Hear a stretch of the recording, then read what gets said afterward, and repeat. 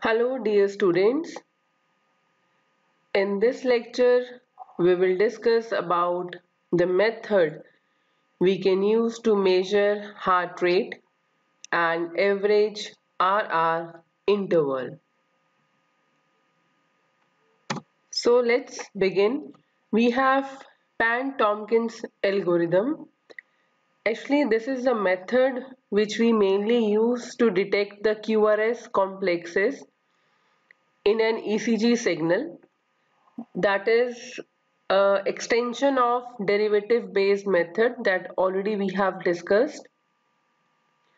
So in this method actually this algorithm was proposed by Jiapu Pan and Willis J. Tompkins in 1985 in the journal IEEE Transactions on Biomedical Engineering. It is, as I mentioned, it is commonly used to detect the QRS complexes in the ECG signals. As we know that QRS complex represent the ventricular depolarization and the main skipe visible in an ECG signal basically it represents the QRS complex. This feature that is a mains or we can say large spike makes it particularly suitable for measuring heart rate and it is the first way to assess the heart health state. So this algorithm is based on the analysis of slope, amplitude and width of these QRS complexes. The Pan-Tompkins algorithm applies a series of filters to highlight the frequency content of rapid heart depolarization and it also removes the background noise. Finally, it squares the signal to amplify the QRS contribute. And it then applies or uses adaptive threshold to detect the peak of filtered signal. Previously we have discussed about this thing but in that we were not using adaptive threshold. In that we were using a constant threshold mainly 1 but in this we are using adaptive threshold to detect the peaks of the filtered signal. So this is the journal block diagram of Pan-Tompkins algorithm. As you can see in this we have first thing is again filter but in this we are using band pass filtering and that we are implementing by keeping in cascade the low pass filter and the high pass filter. So this makes the band pass filter. Then we have derivative operator, then we have squaring and finally moving window integration. We will discuss the function of each part in detail. So starting with the low pass filter. Low pass filter is a recursive filter and it has integer coefficients to reduce the computational complexity. So you can see the transfer function that corresponds to a low pass filter. As you can see Hz that is 1 by 32 then in numerator you have 1 minus z raised to power minus 6 whole square. And then in denominator you can see you have 1 minus z inverse whole square. And if you find the equation of output that is yn in terms of xn using this equation how we can do that? We can keep hz as yz by xz then cross multiply both the sides. Cross multiply both the sides and finally take the inverse transform. So you will get equation as yn equal to 2 times y of n minus 1 minus y n minus 2 plus 1 by 32 and then you get xn minus 2 x of n minus 6 plus x of n minus 12. Basically what we have done in this is you can see we have implemented the square.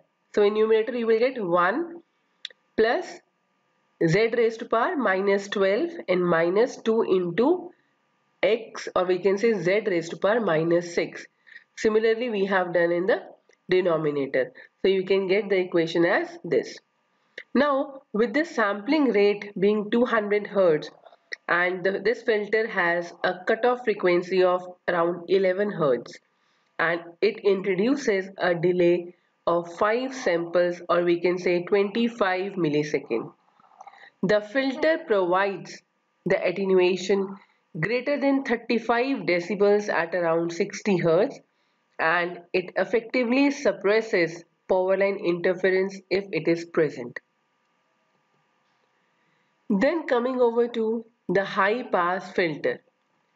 It is implemented as a all pass filter minus the low pass filter. So the low pass filter for this has a transfer function as you can see H, LP, Z, LP means low pass. Then we have 1 by 32.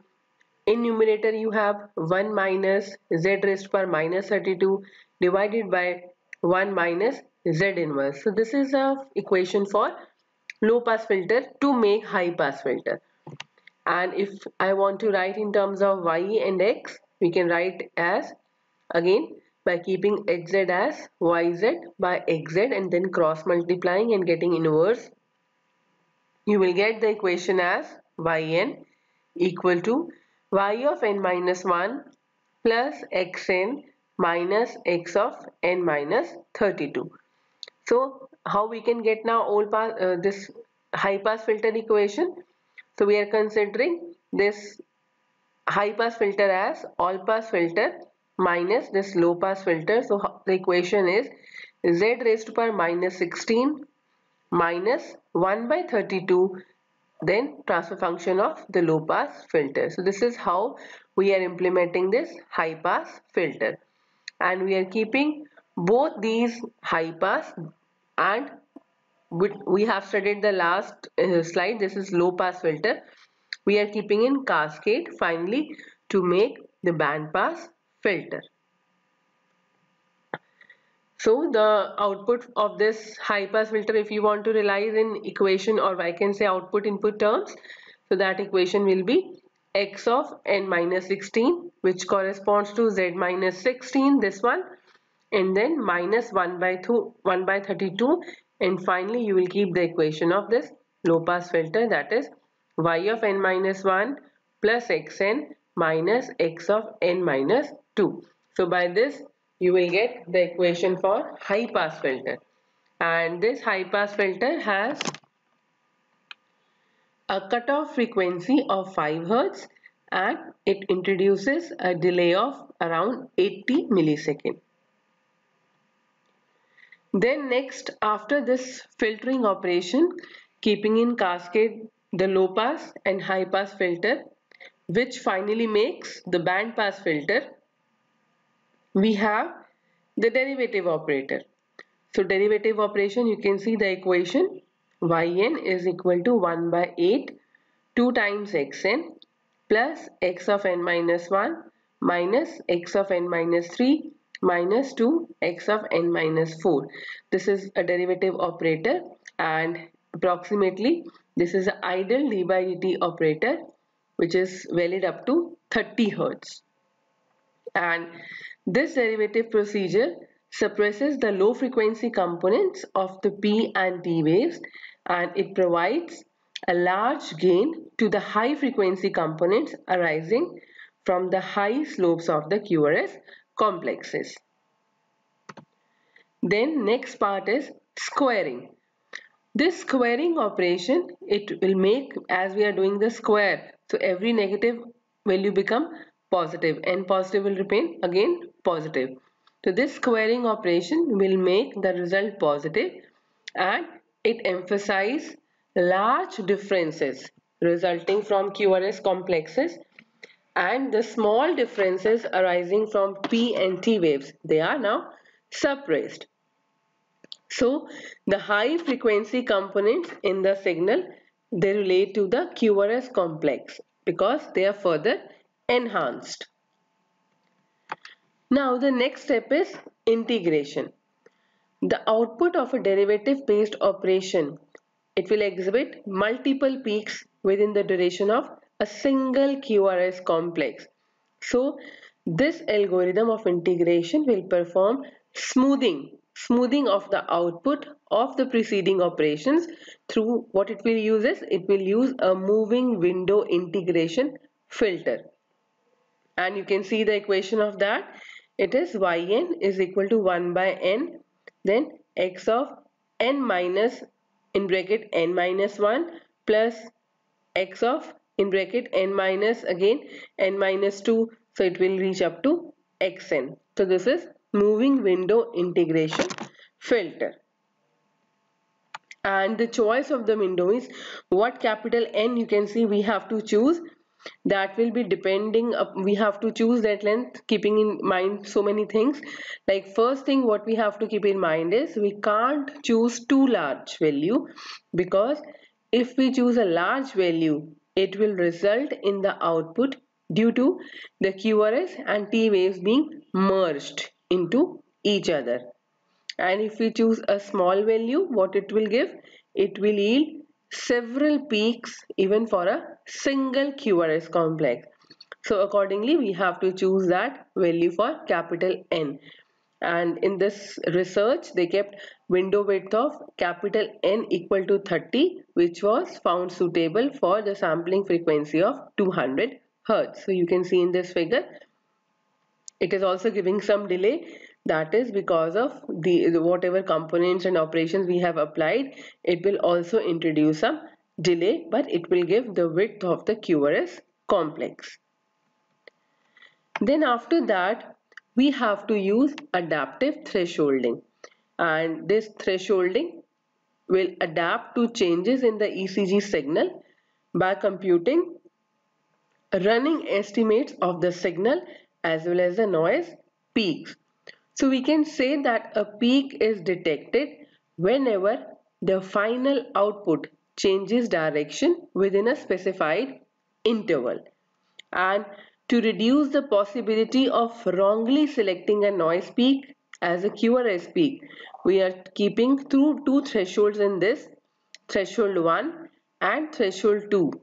So they will categorize whether the detected peak is a QRS signal that peak corresponds to a QRS complex or it is maybe due to some noisy artifact.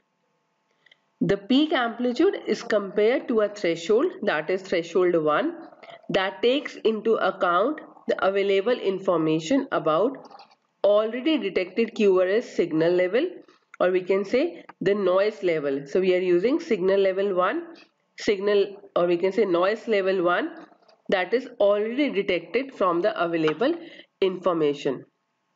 So you can calculate threshold 1 as it is equal to noise level 1 plus 0.25 in bracket signal level 1 minus noise level 1. So here noise level 1 is the running estimate of the noise level in the integrated signal and signal level 1 is the a running estimate of the signal level in the integrated signal. Then the threshold and signal and noise levels are automatically updated after detecting a new peak based on its classification whether it is a signal or a noise peak because it is adaptive thresholding so we have to continuously update this threshold as well as signal and noise level peaks so how we can update that one. So signal level 1 it can be calculated as 0.125 peak 1 plus 0.875 signal level 1. Similarly the noise level. Noise level 1 as equal to 0.125 peak 1 plus 0.875 noise level 1. So where this peak 1 is the new peak found in the integrated signal.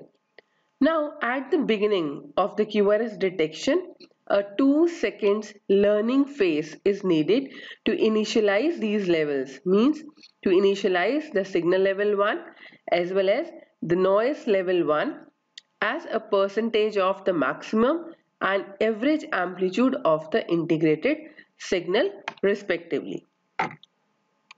Now, if a new peak 1 is under the threshold 1, then we will update the noise level. And if this peak 1 is above the threshold 1, the algorithm what it will do, it will further check before confirming that this peak is a true QRS peak taking into consideration the information provided by the band pass filtered signal. So it will cross check that one. And then the threshold will be updated depending upon the levels we have taken from the filtered signal. So threshold 1 will be now updated to threshold 1 1 noise level f plus 0.25 that is into signal f minus noise level f. So f here denotes that it is for the filtered signal and threshold 1 2 the second will be 0.5 into threshold I1. Now the signal level f it will be 0.125 peak f that is now from filtered signal because it is cross checking basically 0.875 signal level f if this peak f is a signal peak and it will use noise level f if that peak f corresponds to a noise peak. So in this way we can update the threshold as well as the signal levels. Now this signal level 1 it will be changed to this function. We can say it will use signal level. The here you can see the coefficient. It is now 0.75 this will be updated or it will be changed when we are checking using threshold 1 2 rather than threshold 1 1 so this QRS is detected in the search back procedure using threshold 1 2 then we will use this formula instead of the previous formula now what is this search back procedure the Pan-Tompkins algorithm, it maintains two RR interval averages. One is RR average 1, other is RR average 2. So RR average 1, it is the average of the 8 most recent beats. And RR average 2 is the average of the 8 most recent beats having RR intervals within the range specified by RR low limit that is given by 0.92 into RR average 2 and the upper limit or we can say the higher limit that is RR high limit which is given by 1.16 into RR average 2. Now whenever we can say a QRS is not detected for a certain interval specified as RR missed limit which is also given by 1.66 into RR average 2 then the QRS is taken to be the peak between the established thresholds applied in the search back procedure. So this is when we will do this when we will miss that QRS for a specified interval. Now we will see one illustration first of Pan-Tompkins algorithm then we will see how it can be used to measure heart rate. So first figure if you see it shows the trace of an ECG signal and then it is the output of a band pass filter. So band pass filter is applied to increase the signal to noise ratio and this filter has the bandwidth of 5 to 15 Hertz and it is suggested to maximize the QRS contribution and to reduce the muscle noise, baseline drift, power line interference and also the P or T wave frequency content. Then the third figure if you see it is that of derivative operator which further suppresses the P and T waves you can see and it provides a large output at the QRS locations. Then next if you see the squaring. The squaring operation enhances the large values and also it boosts the high frequency components. But the result will have multiple peaks. Now you can see these multiple peaks and these needs to be smooth. So we need the smoothing operation and for that now we are using integrator. So the final output of the integrator is a single smooth pulse for each QRS complex and this figure is showing around 100 times of that actual integrand output. And if you see we have a shift between the actual QRS and the pulse output due to the cumulative detail, uh, delays of the various filters. Now next is how you can apply this algorithm for the measurement of heart rate. The intervals between two consecutive markers what where we have detected the QRS complexes it gives the RR interval which could be averaged over a number of beats to obtain a good estimate of the interbeat interval and the heart rate may be computed in beats per minute as 60 divided by the average RR interval in seconds. The heart rate may also be obtained by counting the number of beats detected over a certain period, say around 10 seconds, and multiply the result with the required factor. Here it is 6 to get the number of beats over 1 minute. Now let's see one illustration. So for that consider a ECG signal with high frequency noise as you can see in this figure. Then the first figure in this shows the filtered version of that noisy signal. So noisy signal was filtered with an 8th order Butterworth low pass filter with a cutoff frequency of 90 Hz and sampling frequency of 200 Hz. And the second figure, if you see, it shows the output of the Pan-Tompkins method. And this output is normalized by dividing its maximum over the data recorded. In this what we are using, we are using a fixed threshold of 0.1 and a blanking interval of 250 millisecond for successful detection of all the beats in the signal. And in this if you calculate the RR interval is computed as 716 millisecond leading to an effective heart rate of 84 beats per minute. Now let's check one more illustration. For this again we have considered a noisy signal ECG signal sampled at 200 Hz. you can see in this figure it is showing the first signal it is showing the noisy ECG signal. And then we have used again the band pass filter to remove the low frequency artifact in the signal. And if you see the final output it is showing two peaks. This you can see this peaks it is showing two peaks much larger than the others. If you see all other peaks are small in amplitude but these two peaks are larger in magnitude.